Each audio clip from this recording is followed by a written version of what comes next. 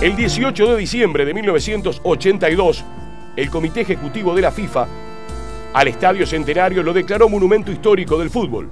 El 18 de julio de 1983 se le colocó una placa conmemorativa en el mismo.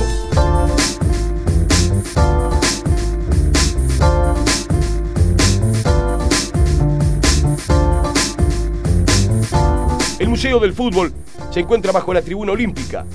Este museo fue recientemente renovado. Comenzamos a recorrerlo y nos encontramos con la sala de trofeos. Nos pone en conocimiento de todo lo que nuestro fútbol ha conquistado. Dos Olimpiadas, dos Mundiales, sudamericanos a nivel juveniles y de mayores. Te llena de orgullo como uruguayo contemplar esto. Ver la bandera que acompañó a los jugadores uruguayos en la gira por Europa, que culminó con la medalla de oro en las Olimpiadas de 1924. El museo cuenta con un cine donde turistas y escuelas, como clubes de fútbol, pueden revivir en una película toda la historia. Por ejemplo, la podemos ver como la Vuelta Olímpica, que fue un invento uruguayo.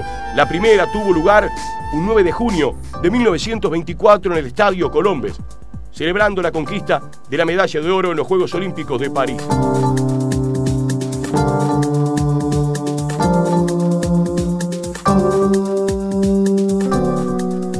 Nuestra visita se encuentra y se sorprende con lo que tiene ante los ojos. Por ejemplo, los zapatos de José Vida, de 1924, retratos de los jugadores de 1928, el gol de Héctor Escarone, pase de Tito Borjas.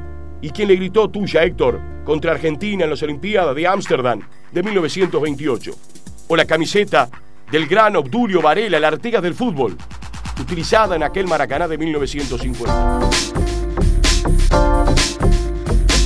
El Uruguay campeón de 1950. También está la Copa, la de la final de 1950, donde Jules Rimet, el presidente de la FIFA, entregó dos copas. Una debía pasar de ganador en ganador y fue robada y tal vez fundida años después en Brasil.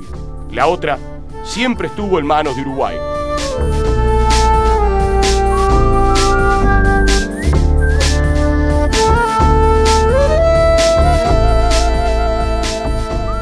Los muebles de la antigua Asociación Uruguaya de Fútbol, donde se fundó la Confederación Sudamericana de Fútbol. El mundialito realizado en Uruguay ganado por los uruguayos.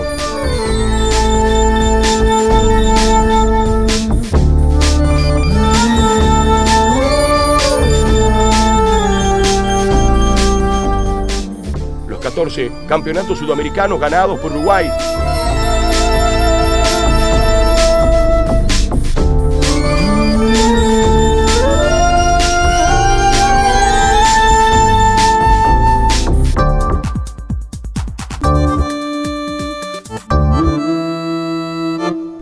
camisetas de Pelé y de Diego Armando Maradona.